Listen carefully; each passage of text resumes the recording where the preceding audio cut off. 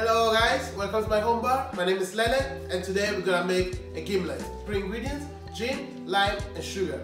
So normally it's made with a cordial, but I'm gonna show you how to make it quick at home without making no cordial. So let's do it together.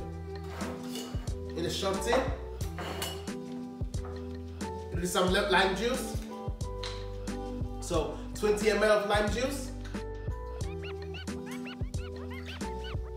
and 20 ml of gomme.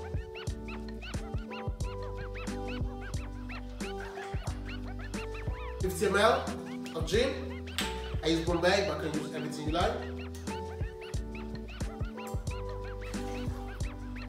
It is the perfect drink for a nice summer day. Have like four or five days, no problem. So here we go.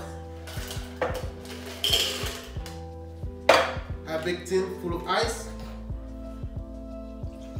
Drink it here.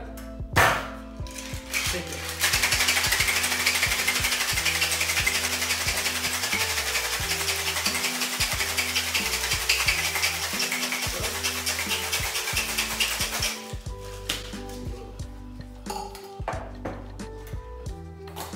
Double strain your glass.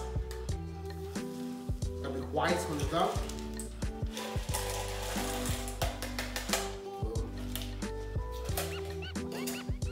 Guys. Enjoy your drink.